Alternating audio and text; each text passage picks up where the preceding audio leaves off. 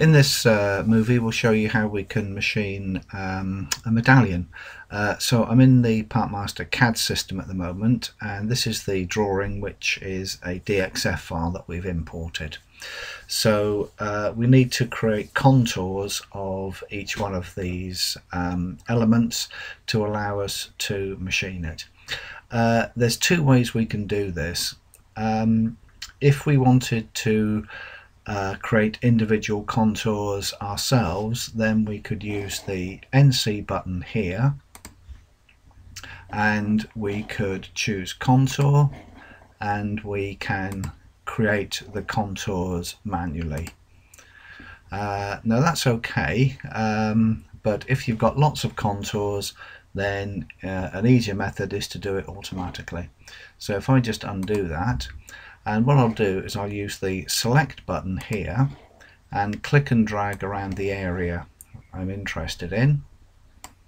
And then that highlights the selection. I can use the cursor to deselect any items I want within there.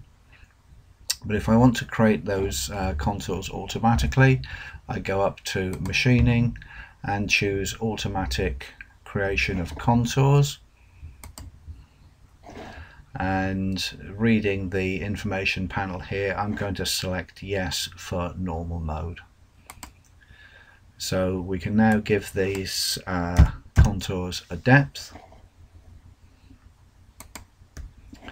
Uh, when it encounters a circle it'll ask us to indicate the start point and this will be at zero degrees which is the three o'clock position so that's created uh, the contours for us automatically. So we can now save that uh, drawing away. And now we can transfer those contours into the CAM system. So we go back to machining, milling module, and because this is a new job we get the machine set up so I need to check on my tool change position so the tool change position in X and Y is 0 but the Z should not be 0 because uh, Z0 is the top of the job. So I've got a tool change position of 3 inches here. The clearance plane which is uh, clear of any obstructions, any clamps or fixtures I've set to 2 inches and the feed change plane which is where the uh, system will change between uh, rapid and feed rate is an eighth above the job. So those are the contours there. If we wanted to just do a simple machining on each one of those uh, uh and have the tool represent the center line then we can simply define a tool give it the length give it the cut depth. Select that tool for use. This is where we set the spindle speed and the feed rate. So we can have a feed rate in the XY plane and a smaller feed rate in the Z axis. If we want to use coolant this is where we switch it on. So we're now going to do a go round command so we're going to choose one contour. It doesn't really matter which contour I choose. And I'll set up the parameters for this contour. So if we want the tool to have no offset, so the tool center line is coincident with the contour, I choose offset none. Uh, my approach and runoff, I'll also uncheck those, set those to none. So if we left it at that, then it would just machine the single contour that I indicated. But under our options tab, we've got another button here, which is machine all contours with the same group number. So when these contours were created in the CAD system, they were assigned group number zero. So they're all within one group. So when I click OK, that machines each one of those contours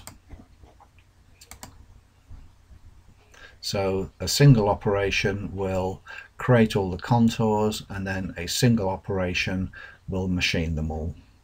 If on the other hand we wanted to do a different bit of machining, for instance if I switch off the go round command, supposing on here we wanted to have the letter B as uh, a sunken face with the uh, center portions as islands, then I would use area clear and I would select that the outside contour is that. And then under islands I can click and drag around those two entities there. And I've got two islands set up there. So I click OK. And that will produce an area clearance operation uh, between those two uh, islands and the outside shape.